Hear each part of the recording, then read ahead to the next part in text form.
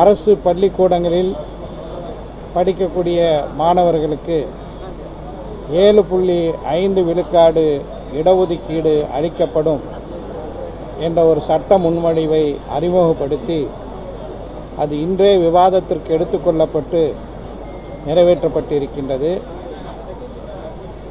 மாண்புமிகு உயர்கல்வித்துறை அமைச்சர் அவர்கள் இன்று தன்னுடைய பதிலுரையிலே பேசும்போது பள்ளி கல்விக்கு பெருந்தலைவர் காமராசர் பெரும் பங்களிப்பு அளித்தார் என்றால் உயர்கல்விக்கு முத்தமிழ் அறிஞர் கலைஞர் அவர்கள் அந்த பங்களிப்பை அளித்திருக்கின்றார் என்று குறிப்பிட்டார்.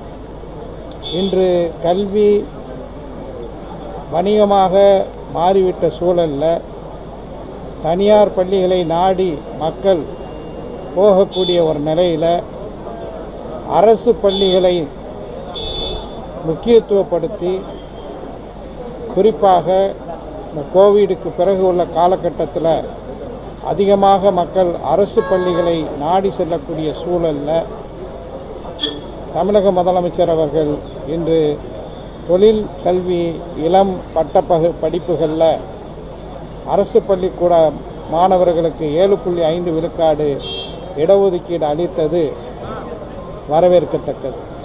Welcome to Sudha's Tiffin Room, coming soon on India Ahead Tamil.